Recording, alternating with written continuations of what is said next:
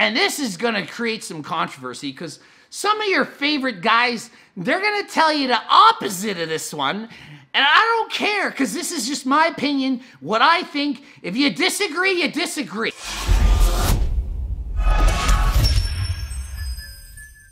Coach Greg, and today we are going to learn how to get some big biceps. Everyone wants huge arms, and who doesn't want to show off the guns, okay? So, what I'm saying is there are three main or most important biceps exercises that you should be doing to get the most jacked arms you can, okay? I'm going to also explain the three worst or the most stupid or the ones you shouldn't do to get your arms to grow. So you'll walk out of this video and know what to train and what not to train to get the best arms that you could possibly have. Okay, before I get into that, not a doctor, not a dietitian, an actual kinesiologist that actually knows about this stuff. Okay, so listen to me. I've been training for 34 years. I know what I'm doing. Okay, I'm gonna make it real simple so you all will understand. Not gonna talk over your head and not gonna try to confuse you with any of the BS. We're to get right into it. The number one best, most important bicep exercise you should be doing to get the big arms that you want. Here it is the standing cheating bicep curl. Now, I don't mean you cheat right away, but I mean you need to cheat a little bit. Okay, so I'm gonna explain what I mean. So, barbell curl it doesn't matter if it's a barbell or an EZ bar, you know, the bendy ones.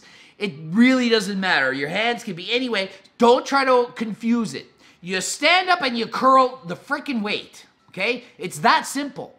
So, why cheating?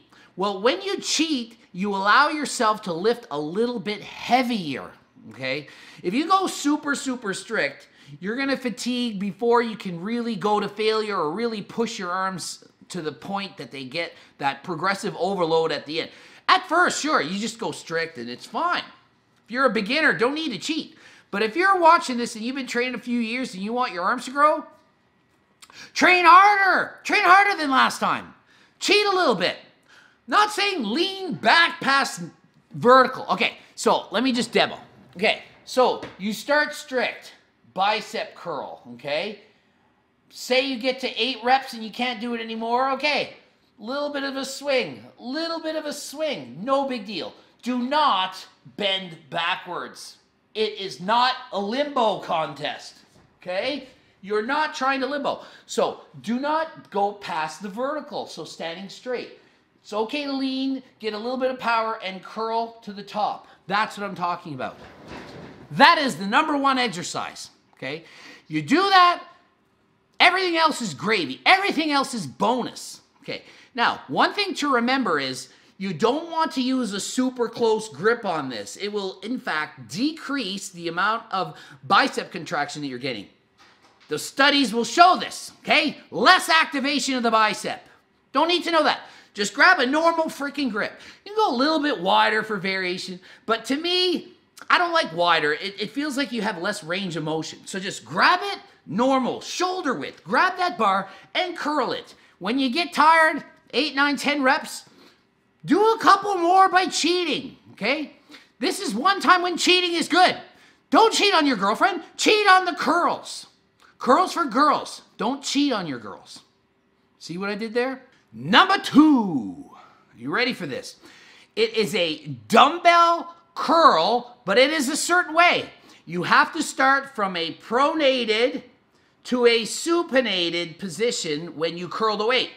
Easy to remember. Pronate is when your hand is down. Supinate is when you can hold a cup of soup. There's a cup. Boom, my coffee. I can hold it.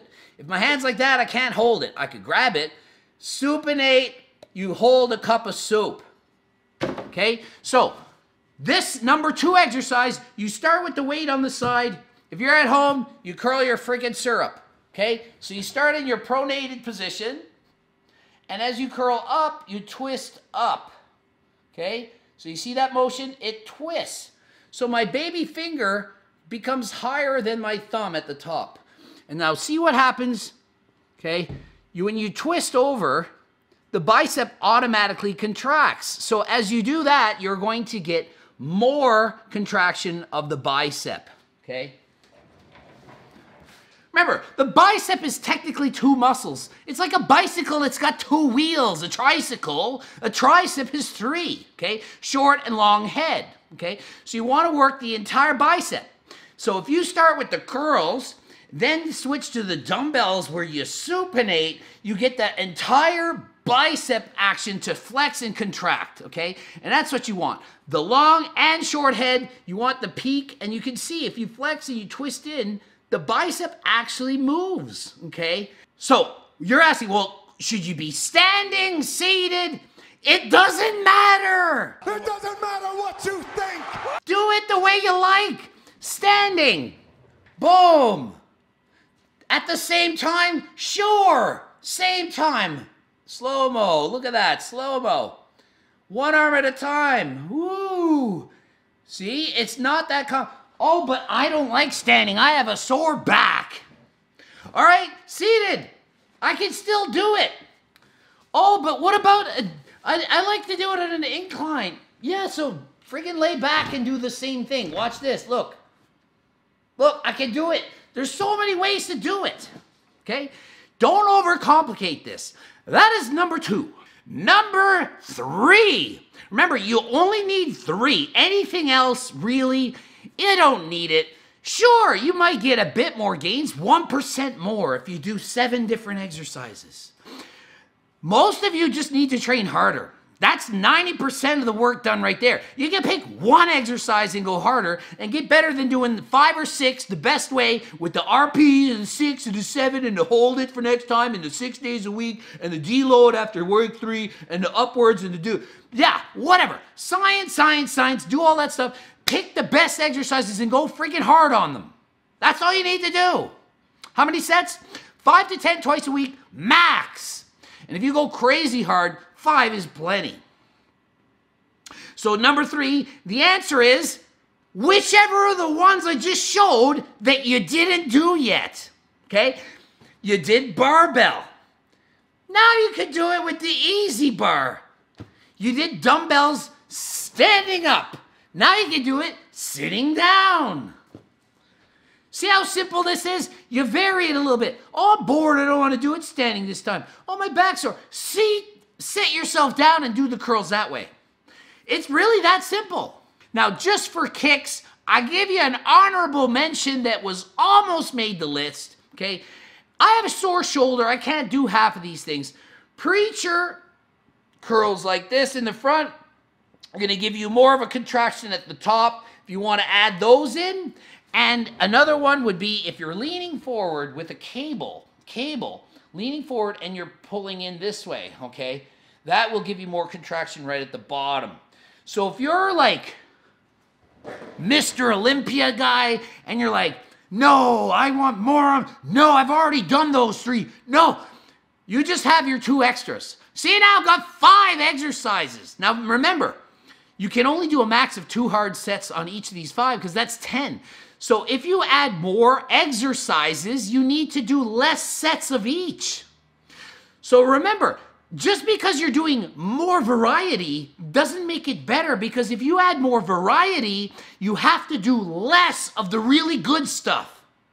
Standing barbell curls is awesome. You do five sets of that hard, you're gonna get good arms. Now, if you say, no, but this coach said I should do five different exercises.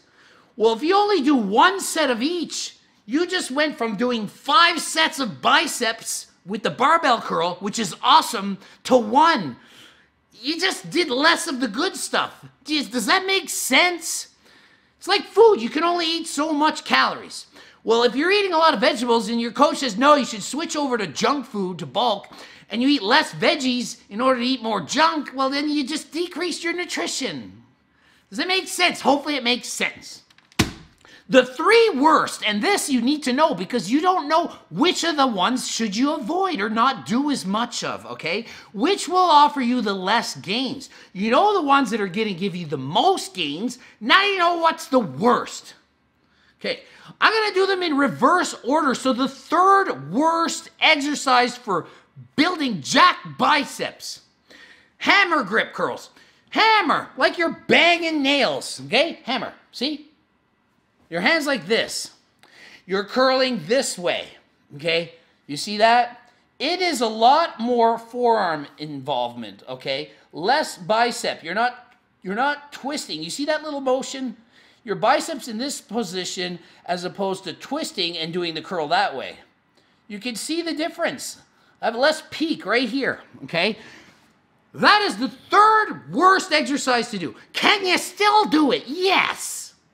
Does it suck? No. If you love it, still do it at the end.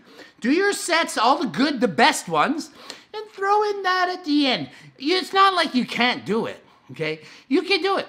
You can even grab dumbbells and do your cardio with a bicep. You're seeing Grandma Josephine walking around the hill with a one pound dumbbell pumping away. It's still gonna benefit you, it's still good. It's just not ideal, okay? So do what you need to do. If you like it, keep doing it, but just know there's better. Next, second worst thing you could do. You, this is the worst. Now, it's even worse. One worse. Bloop. The reverse curl. So, I used to do these when I was a kid. I was like, why am I even doing this? I hate it. Sure, it's working your forearm. If you want to work your forearms more, that's great. But it's not doing nearly as much for your biceps as if you curled the right way. I'll call the right way with the supinated grip. Okay? Cup of soup curls. If you put your hand this way and you curl, it's a reverse grip. Not as good. And here's the worst, and this is gonna create some controversy because some of your favorite guys, they're gonna tell you the opposite of this one. And I don't care because this is just my opinion, what I think. If you disagree, you disagree, okay? The worst bicep exercise you could ever do. This is, and I grouped them into one chin ups, pull ups, and any kind of bicep like rows. Pull ups, chin ups, and rows. You know, pull up, chin up. It still works your bicep for sure. Rows, seated rows. It's still, you're still pulling in, you're still working the bicep, yes, but not ideal. Those exercises are for guess what? Do you know? It's for your back. Try to minimize bicep involvement, maximize back involvement. Lats, for example, when you do those exercises. Don't try to do chin ups and rows to get bigger biceps. Try to do those exercises to get a bigger back. Then use your more isolation stuff for the biceps specifically after. So, can you do chin ups to build bigger arms? Yes! Of course you can. It's just not ideal. I would suggest strongly that you do the curls for the girls not the chins for the win. The chin for the win is for your back, okay? Can you do both together? Yes, a lot of people do back and biceps together. It's a pull day. But you want to start with your back first when your arms are fresh because you don't want your biceps to be a weak link in the move in the movement and you want to be able to perform your back to its maximum potential, okay? After you're done your back, then you can go on to the bicep specific exercises like the barbell curls, dumbbell curls, and so on, okay? So you can do your chins and your pull-ups and your rows, but do them before you focus on your biceps. Don't just use those to do your biceps, okay? Hopefully that makes sense. Subscribe, click bell buttons, freaking press every single thing on the screen. Hopefully you get a swoosh, hopefully you get a swish, one of the two. It's a lottery you might not get. I don't know. I don't do this stuff. I also did a video. It was the top three chest training exercises, worst three. Be sure to watch that. If you learn about your biceps, you certainly want to build a big chest as well, okay? So watch those. GregDoucette.com for coaching. Greg Doucette, IFBB Pro. Follow me on Instagram. We can chat over there.